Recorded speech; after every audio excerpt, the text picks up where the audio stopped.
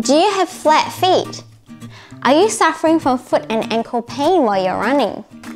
Well, in this video, I'm going to share with you some tips and strategy on how you can manage your discomfort while running with flat feet.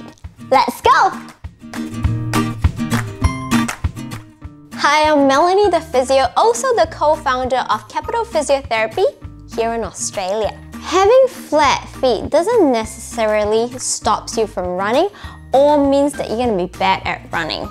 Although having flat feet sometimes can cause some discomfort while you're running. A lot of people who run and is running very successfully do have flat feet. Your arches are supposed to act like a natural shock absorber.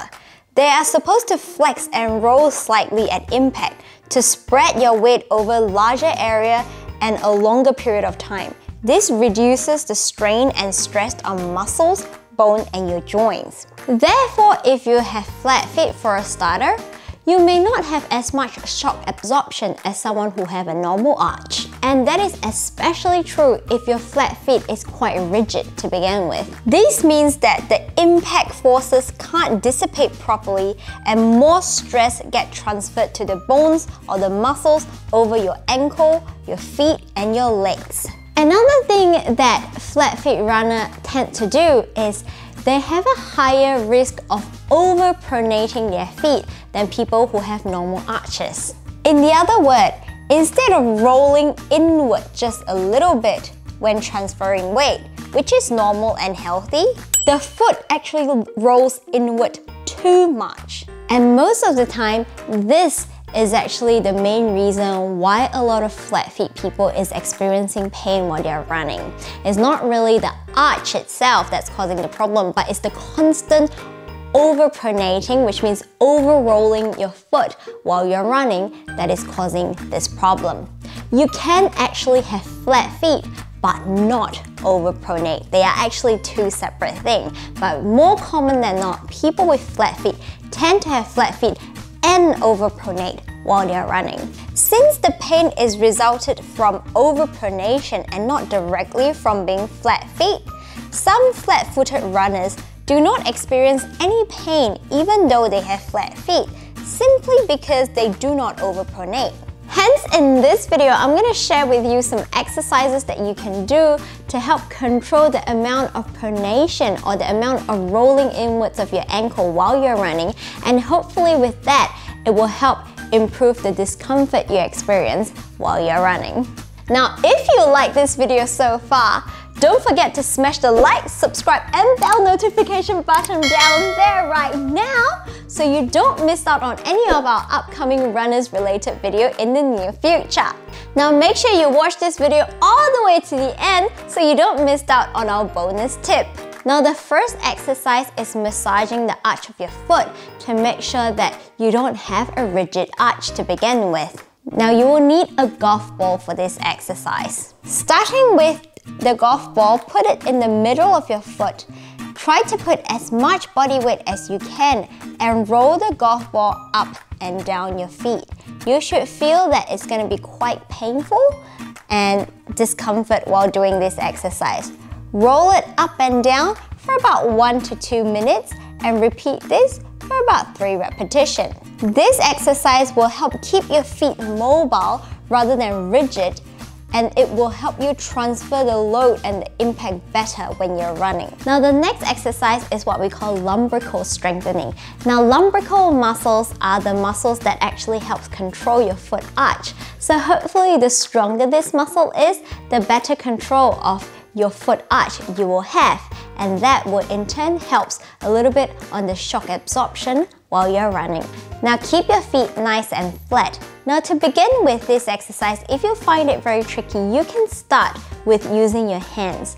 Now squeeze your toe together and lift that knuckle off to create an arch on your feet. Making sure that you're not clinching your toes, that your toe remain nice and long and it's really only the big knuckle that is lifting up. A lot of people when they start this exercise, they will feel cramping in their feet and that is perfectly normal. Keep practicing this exercise. This exercise is not about the amount of quantity you're doing them, but the quality of each movement that you're doing. So focus on the quality of the movement instead of quantity. Spend about a good five minutes every day practicing it. You can do it from the floor to start with, and then sitting down, and then standing with both legs, and slowly move to standing on one leg once you get better at it. Now the next exercise is to train up your ankle stability control because when you're running, your ankle and your feet need to maneuver around different terrain. And with your flat feet, you'll find that it's very hard to control your ankle stability. So by improving the strength of your ankle stabilizing muscles, you'll be able to control your ankle better and hence in turn help with the efficiency of your running. This exercise is what we call calf raises with tennis ball. You want to put a tennis ball in between both of your heel. That tennis ball nice and tight with your heel and come up into a calf raises and slowly lower them back down. Repeat this for 30 repetitions and do that for 3 sets. This next exercise is also another ankle stabilizing exercise to help you control your ankle better while you're running. Now it's called calf raises with resistance band. Now tie a loop around the outside of your ankle, tie it onto something stable, and stand on one leg, come up into a calf raise. Now because of the resistance band, it will try to pull your ankle inwards. Now to resist that, you would have to actively use your ankle muscles to pull it outwards to keep that nice straight alignment while you're doing the calf raises. Repeat this for 15 repetition.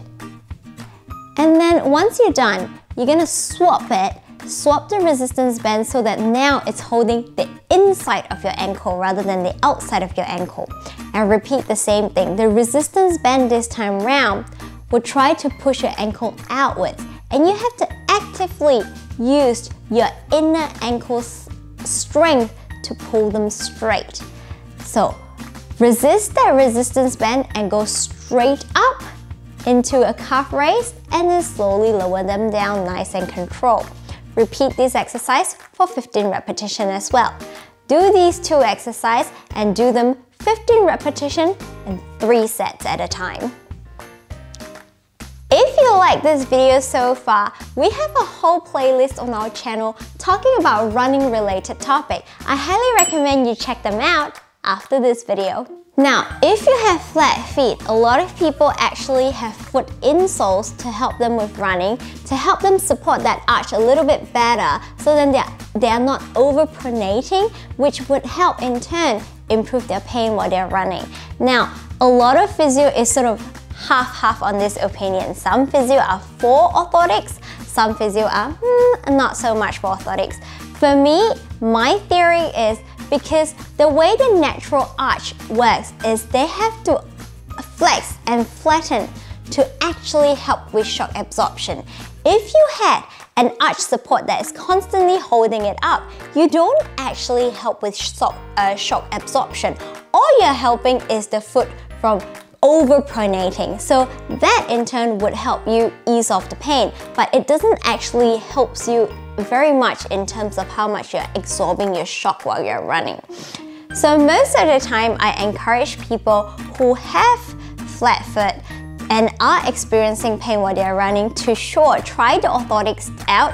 It probably will help relieve your pain, but I always tell them don't rely on it too much because in the end you will find that you cannot wean off the orthotics. You will solely rely on them to help you with your pain. The best way to deal with it is actually to wear them while you're running long distance and while you're running short distance to actually buy those minimalism shoes where you actually have to use your foot control to start running and to control your running and at the same time do conditioning exercise that's going to strengthen your arch control, that's going to strengthen your ankle control and in that way you then won't solely rely on your shoes orthotics to help you to be pain-free. I upload video here on a weekly basis on health and fitness related topic as well as injury rehab topic. Once again, I'm Melanie and I will see you in the next video. Until then, stay safe, happy and healthy. Good luck with your running. See ya!